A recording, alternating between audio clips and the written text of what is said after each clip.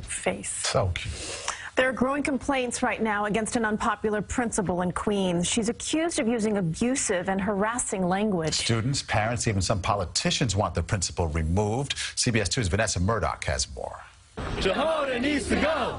Jahoda needs to go. Students took over the steps of City Hall today. Replace Mr. Jahoda with someone we can trust. Most of them seniors at Townsend Harris High School in Flushing. They say their interim acting principal, Rosemarie Jahoda, must be replaced. And they have the support of Assemblywoman Nily Rozic, UFT teachers and parents. Students allege Jahoda harasses teachers, uses foul language in front of students, and doesn't stand up for them. She didn't take a stance in protecting the students. Isha Malik says during a Muslim Student Association bake sale, her classmates were harassed with hateful speech. Like F Muslims. They reported the incident to Principal Jahoda, but say she did nothing. You can go reach out to students, tell students that some, such, such a thing is not okay in the school. We feel that our only course of action now is to go to Mayor de Blasio, to be here at City Hall, to protest and to tell, um, tell the administrators that we need a new leadership in our school.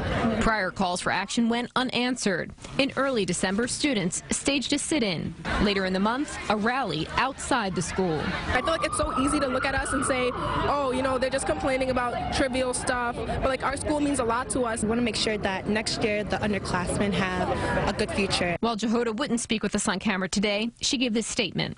While I am frustrated by many of these inaccurate allegations, I remain 100% focused on serving students and families at Townsend Harris. The Department of Education told us we continue to listen to feedback from the school community. Rosemarie Jahoda remains interim acting principal. From City Hall, Vanessa Murdock, CBS 2 News. And the Department of Education also tells us the Townsend Harris principal position was reposted on February 1st, and hiring a principal in accordance with the C30 regulation can take up to 90 days.